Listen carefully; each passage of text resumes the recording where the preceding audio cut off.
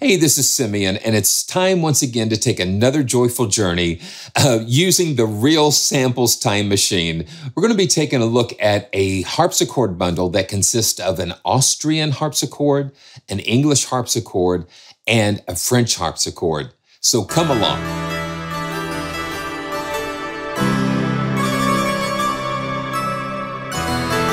Okay, we're back. And the reason I say Realsamples Time Machine is that Realsamples is a very unique company in that they have found beautifully preserved classical instruments, some uh, over 300 years old, and they have preserved those uh, beautiful instruments and not only preserved them, but also sampled them. So, what that does, that allows us to be able to play these instruments ourselves in, in a way.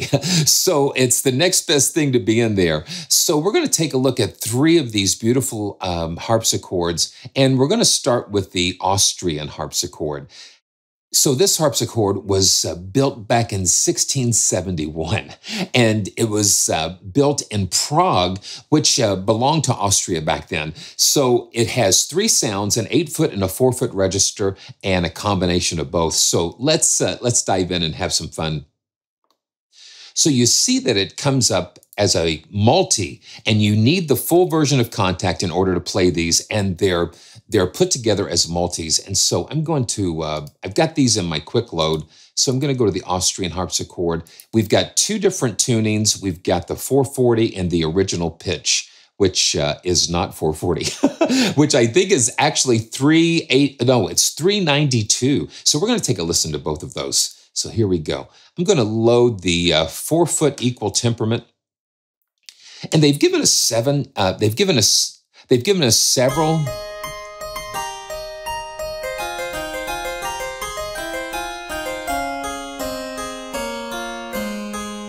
Yes, so since the harpsichord is not velocity sensitive, we've got several layers of, of key down and the release samples where the plectrum resets. So, and the four foot is a higher, is a higher pitched, um,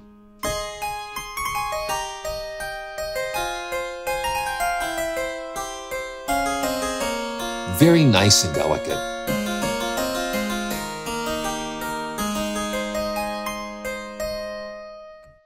Now you can see, if you take a look, you can just see how that um, second contact, the release, so you can just kind of see it bumping a little bit. I'm going to bump up the, uh, the volume so we can hear that. Yeah, you hear that? So every time you release the key, you're hearing a different uh, release sample. So because of the lack of velocity sensitivity in a harpsichord, you're going to get a different variation of how the keys and releases sound. And that's kind of cool. Okay, so now let's go and take a look at the eight foot. And this is going to be like an octave lower than the four foot.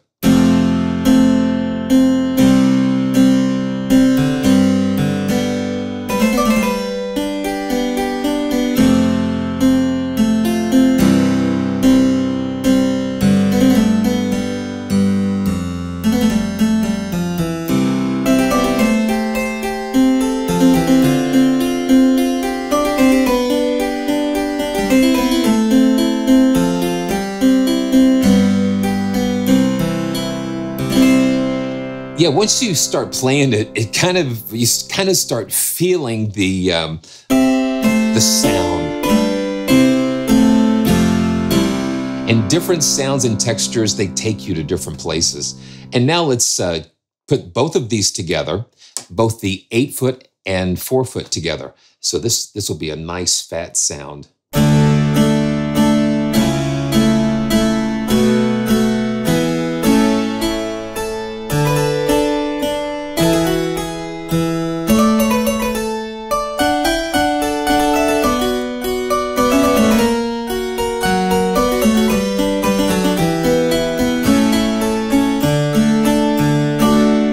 Now, these have been equal temperament, uh, equal temperament tunings, and we have a Vallotti temperament. I'm going to throw the uh, Vallotti temperament up uh, in the eight and four foot stop setting so we can kind of hear the difference.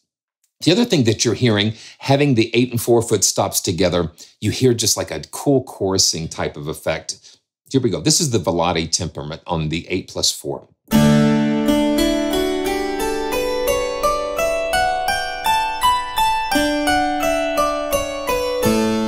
Let's just play C.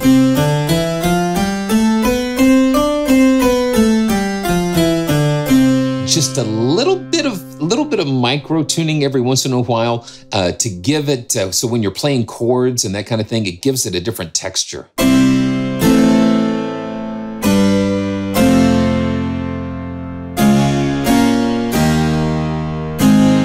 Let's go to the original pitch for a second and take a listen to that. I'm going to uh, do the original pitch in the equal temperament, and let's go ahead and do the eight plus four. And let's hear what uh, what this sounds like. I'm going to play in C, but it's not going to sound like we're we're normally hear C. Yeah, it it's almost feels like a, almost like a whole half step or a whole step down.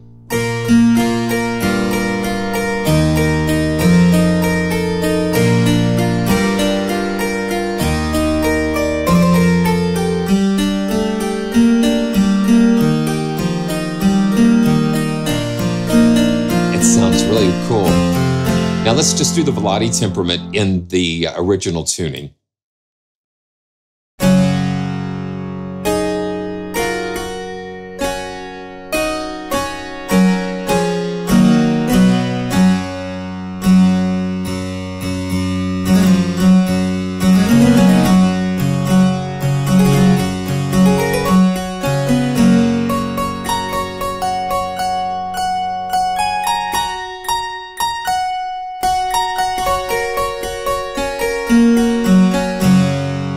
That's really cool. I always like to um, experiment with effects. So I have um, I have Valhalla Shimmer over here. And so um, I've got that plugged in. So we're going to uh, see what happens when we put a little shimmer on top of the, uh, the harpsichord here. So you ready? Here we go. And this is, this is wild.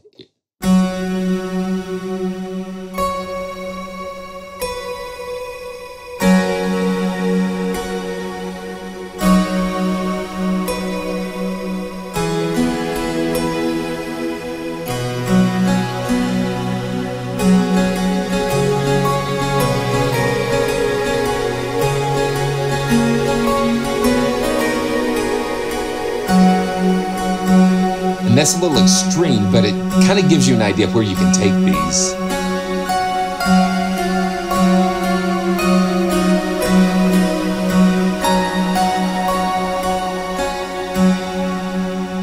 So you can take a harpsichord that was built back into the 1600s and bring it into the future. So that's what's that's what's amazing.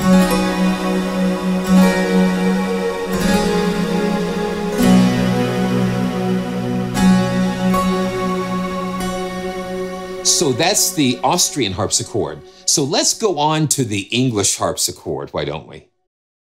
So now we come to the English harpsichord. It was built in 1766 by Jacob Kirkman. It has two manuals and different registers. It has what they call a lute stop and a nasal or a nasal stop. I guess that's the way I, I think about it. But we have eight foot and four foot in the re different registers. And then we have combinations of those together, which I think give us a, a whole lot of different possibilities, different com combinations. Let's go ahead and, and pull up the, um, the English harpsichord.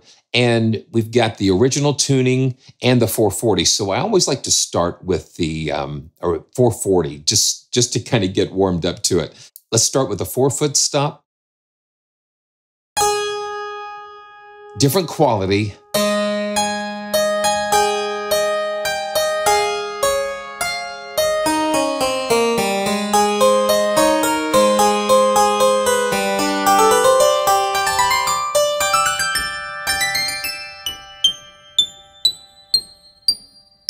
Wow. Yeah, and they've got, they've given you all the notes to play with.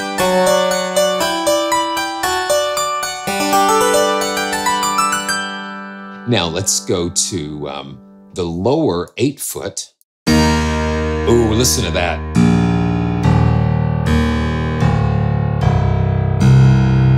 Wow, listen to that.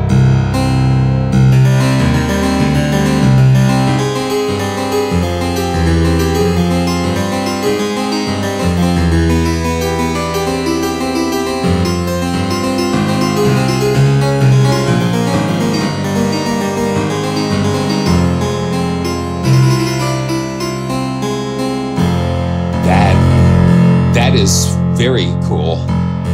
And again, they give you multiple uh, key uh, key down and multiple uh, key release samples so that uh, avoids that dreaded machine gun effect.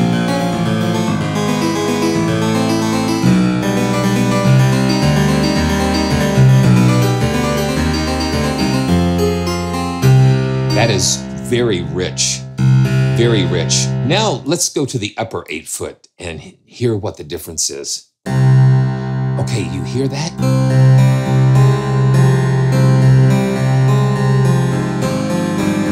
It's a little different.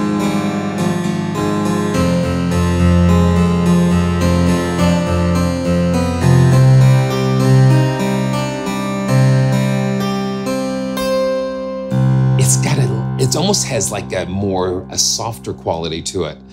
Um, now let's go to the upper and lower uh, eight foot and hear, hear that together. So this combines both the upper and lower eight foot together.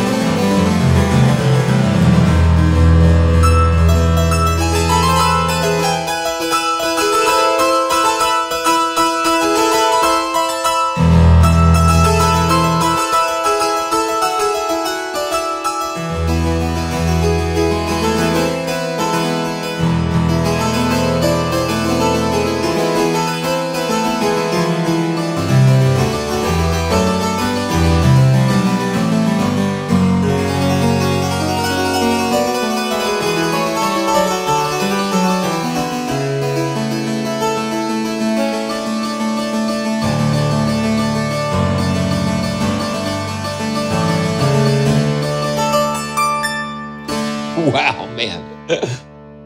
Let's uh, load up the both both of the eight foot and four foot together. So this combines. This just combines everything. So here we go.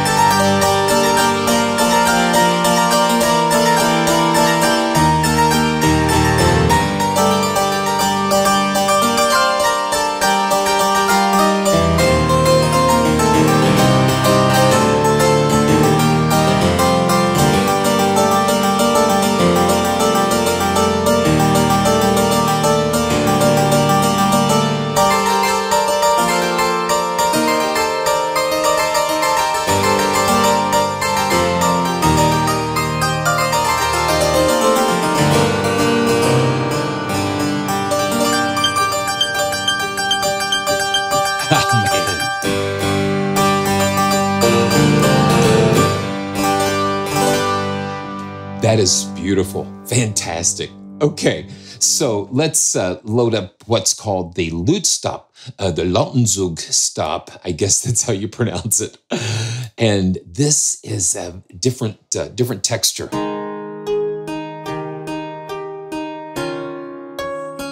This harpsichord just has so much versatility and all of the different uh, sound possibilities.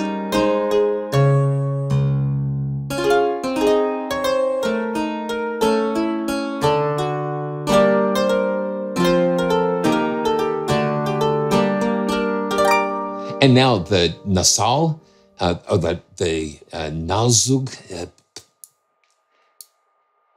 it, it, makes me think of um, nasal. And when you hear it, you're gonna you're gonna understand why. Yeah.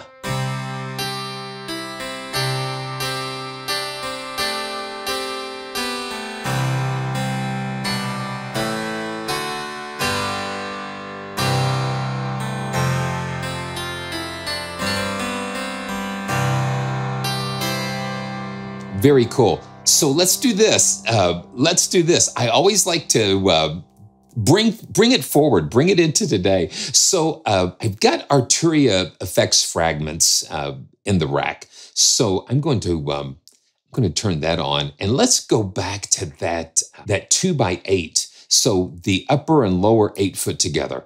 I think that is such a rich um, that is such a rich sound.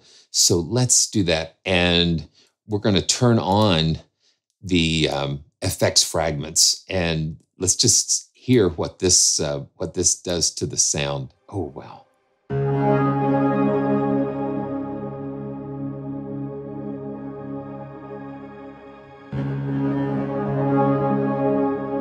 It's the same harpsichord.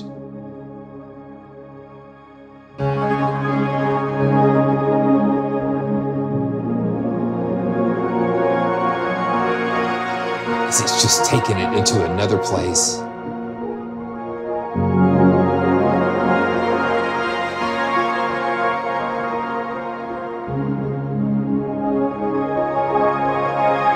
Now let's see. So that's the dry sound, sort of. And it takes it and chops it up in all of these different grains.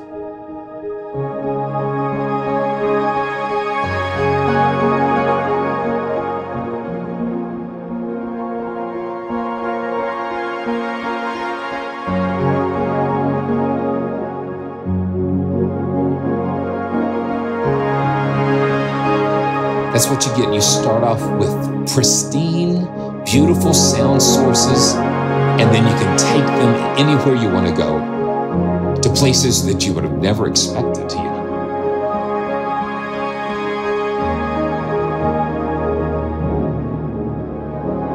Listen to that. That's just wow. Let's try just one more preset here, uh, and this is in the reverb. Let's go to. Um, uh, Lush Planet. I think this one sounds pretty cool. And this is still using both uh, eight foot stops, the upper and lower eight foot stops for this. So it turns it more into like a pad, a really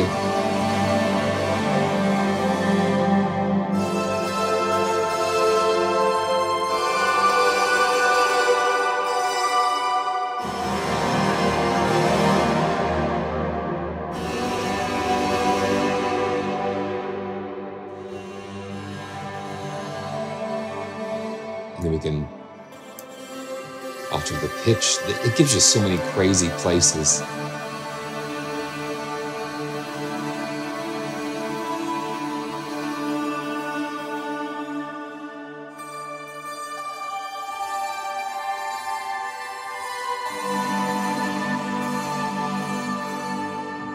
Amazing. Okay, so now let's go to the French harpsichord. Last but not least, we have the French harpsichord that was built back in 1771 by Nicolas Pigalle. And it was built in the town of Dijon.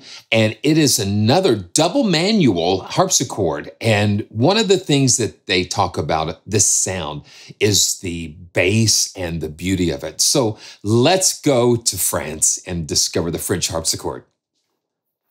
Okay, here we are.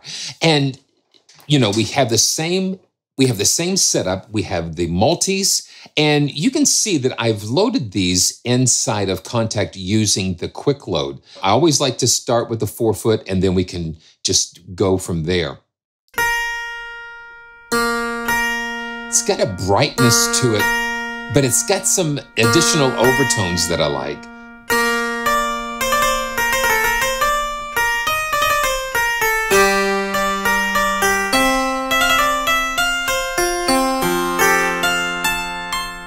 And being a double manual, it just gives you such a, an additional level of versatility.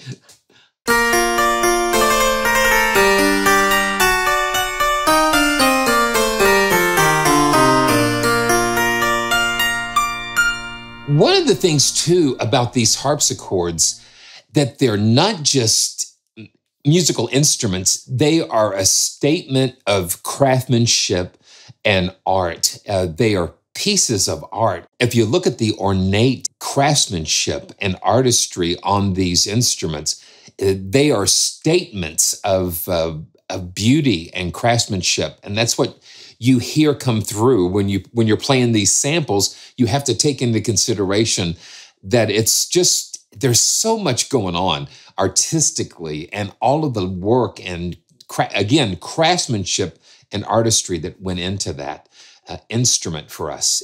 Beautiful. They just are so bold and powerful. So here is the lower eight foot and let's just let's just grab the bass.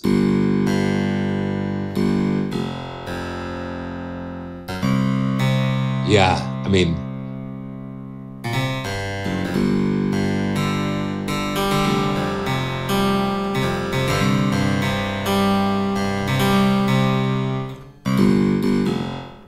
so it goes down to the F.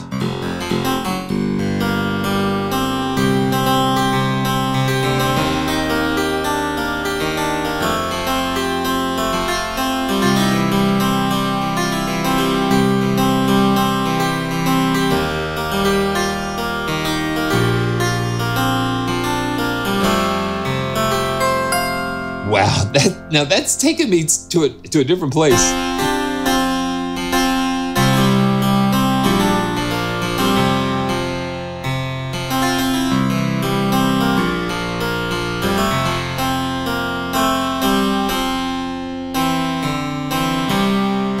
Once again, Realsamples is giving us uh, multiple uh, key down samples and release samples and just pure crystal clear sound and it's just beautiful. Okay, so let's go to both eight foot stops, the upper and upper and lower together. And then that just that just gives you a huge sound.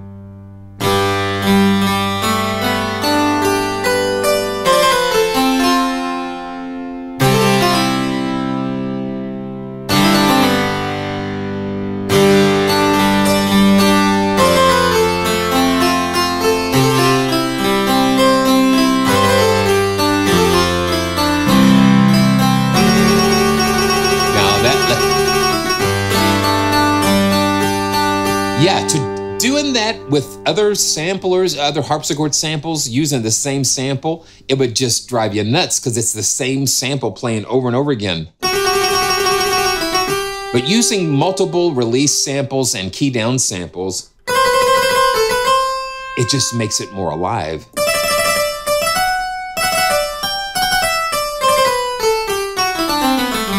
We've got to take a look at the 383 tuning. I think that is um, fascinating to hear uh, the harpsichord in these different tunings. Uh, let's see. Let's just go back to that two uh, two times eight foot stop, but this time it's at 383 hertz instead of the uh, traditional. Well, for us, traditional 440. So here we go. Now I'm playing D flat, but it sounds like a almost like a B, a B natural.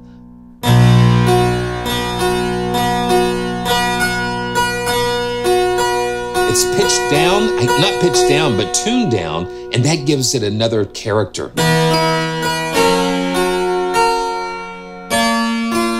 Especially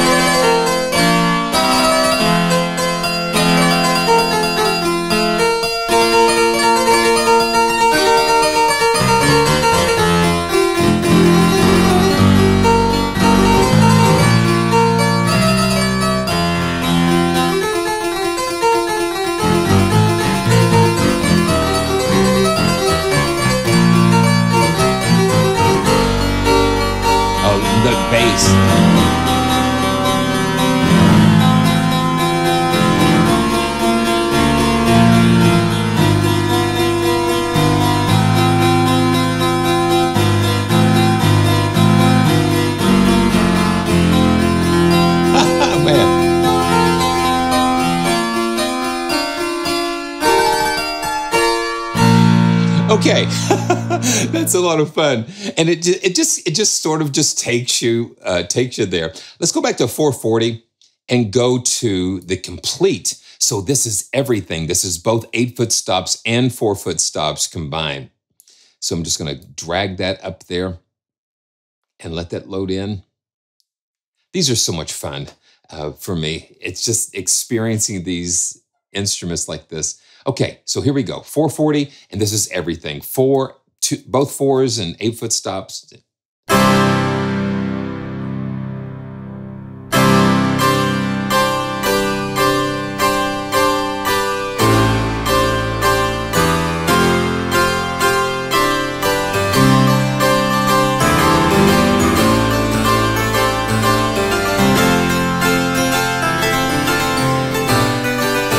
Having that four foot stop on top just adds a little extra sparkle.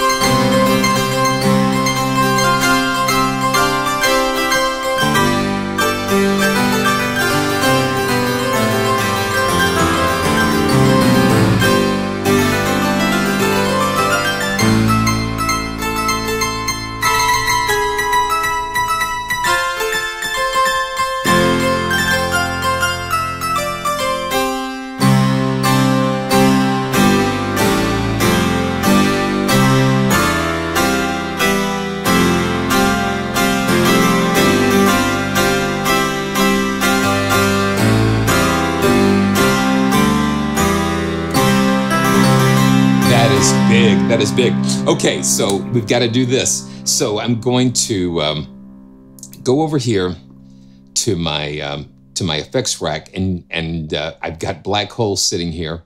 So I'm going to um, go ahead and enable that.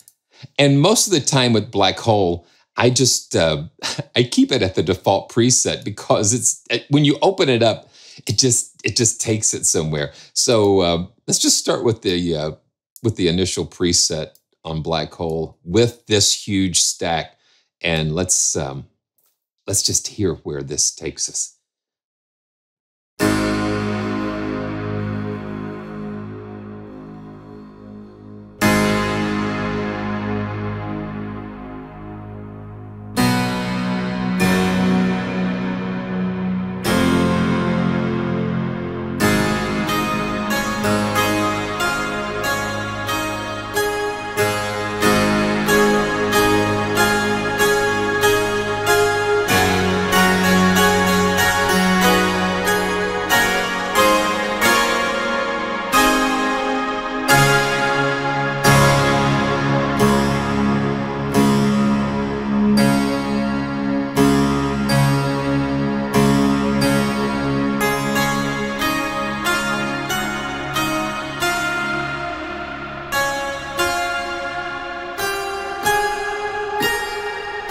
Playing with some of the uh, depth and rate controls. I'm going to crank the depth up on this.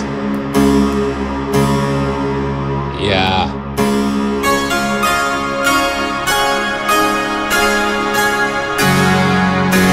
We can freeze that.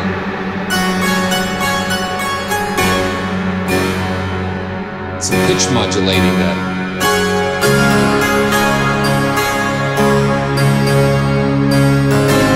1971 to 2023.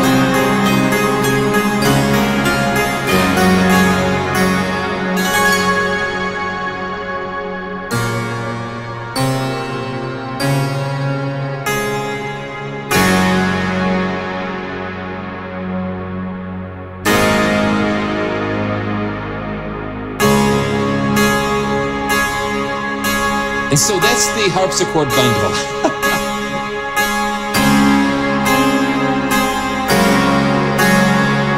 Where will they take you?